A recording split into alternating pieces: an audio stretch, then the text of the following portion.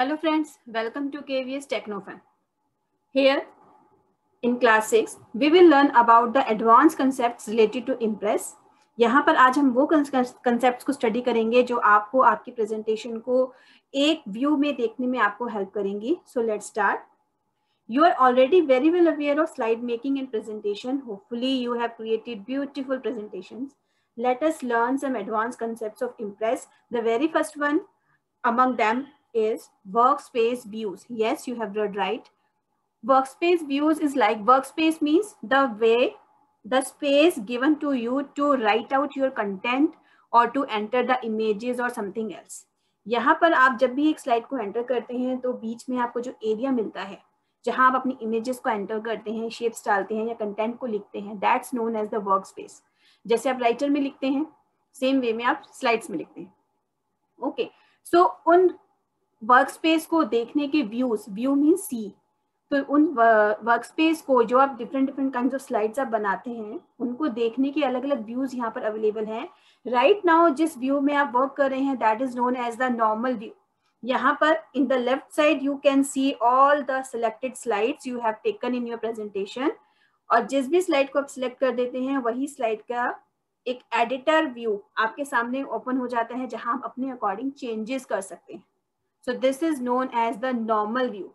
Now let's start with the other views. To find out the various kinds of views, just click on view, click it. And here you will find normal, outline, notes, slide sorter. So these four kind of views you can use to see your workspace. आपका जो content है उसको एक efficient way में देखने के लिए आप इन्हें use कर सकते हैं. And the by default is, sorry, by default is normal view. So now let's start one by यही views the second one is outline तो let start with the outline click on it see in the outline view ये आपको एक outline show करता है आपके slides की। अगर आपने अपनी स्लाइड्स में कोई हेडिंग ली है तो वो हेडिंग्स को उस स्लाइड्स का एक तरीके से व्यू मानकर उसको आपको सामने प्रेजेंट करता है। See this here only with the first slide you can see environmental pollution because we have written environmental pollution here as heading जो चीज़ हेडिंग में होगी, वो चीज़ आपके सामने नज़र आएगी। In the second slide you have nothing so आप यहाँ पर अपना आउटलाइन के लिए कोई हेडिंग या समथिंग ऐड भी कर सकते हैं। For example here I am writing various types of different pollution. देखिए I have written one line over here if you can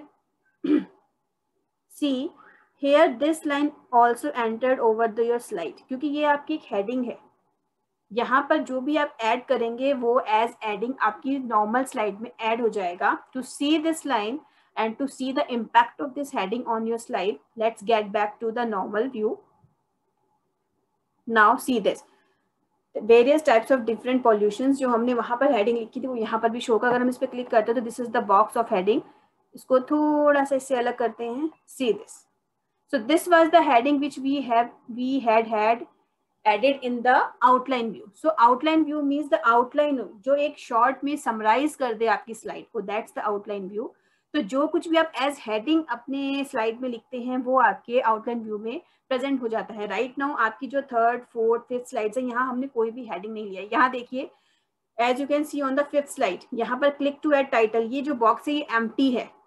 ज़रूरी नहीं है कि आप अपनी जो भी स्लाइड्स का जो भी जिस काइंड के लेआउट आप लेते हैं, उन सारे लेआउट्स में जितने भी कंटेंट या जितने भी एलिमेंट्स आपको मिलते हैं, आप उसे यूज़ करें।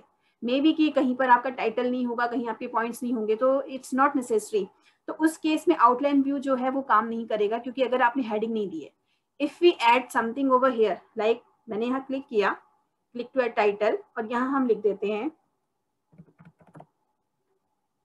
डेफिनेशन ऑफ़ एयर पॉल्यूशन यहाँ हमने एक लाइन ऐड कर दी simply and now get back to outline view see this definition of air pollution. So outline view is used to see the headings or the summary of your slides. Now, the next one is notes view.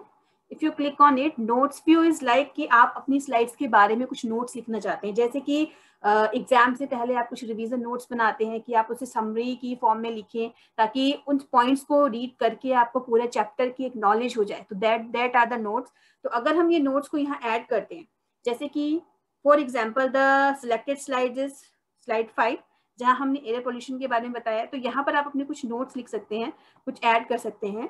Like this slide is use to tell about the air pollution I have added this line notes view का benefit आपके पास ये होता है कि notes view में आप इस नोट्स बॉक्स में जो कुछ भी लिखते हैं that's not presentable in front of audience ये जब आप प्रेजेंटेशन करेंगे स्लाइड शो करेंगे, तब ये नोट्स आपको शो आपके ऑडियंस को शो नहीं होते। इसका मतलब these notes are like the helping notes for you जब भी आप कुछ प्रेजेंट करते हैं और आप कुछ क्विक रिव्यू लेना चाहते हैं अपनी स्लाइड्स का, तब आप यहाँ कुछ पॉइंट्स ऐड कर सकते हैं।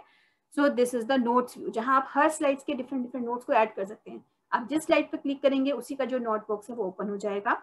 और ये नोट बॉक्स सिर्फ़ उसको नज़र आता है, जो अपनी स्लाइड जैसे कि इस वक्त हम बना रहे हैं। If I am presenting this slide अगर हम स्लाइड शो करेंगे तो वहाँ आपको वो नोट्स नज़र नहीं आएँगे। So this is the notes view next one is slide sorter view sorter means to sort something किसी एक ऑर्डर में अरेंज करना। क्लिक ऑन इट देखिए स्लाइड सॉर्टर में भी जैसे कि हमने इस स्लाइड में नोट्स बनाए थे बट वो यहाँ पर आपको शो नहीं होंगे। बिकॉज़ नोट्स जो होते हैं आपकी स्लाइड्स के, वो सिर्फ़ और सिर्फ़ आपको नोट्स व्यू में ही शो होते हैं। So this is the slide sorter view जहाँ आपको आपकी जितनी भी प्रेजेंटेशन है, उसमें जितनी भी स्लाइड्स हैं, वो सब आपको एक स्क्रीन पर एक साथ शो हो जाती हैं। यहाँ से आप उन स्लाइड्स का ऑर्डर चेंज कर सकते हैं, उनको रीनेम कर सकते हैं, एक क्विक रिव्यू ले सकते हैं। For example I want this slide before this one. See this, I have changed the order of the slides. So this is the slide sorter view. You can use this to arrange your slides.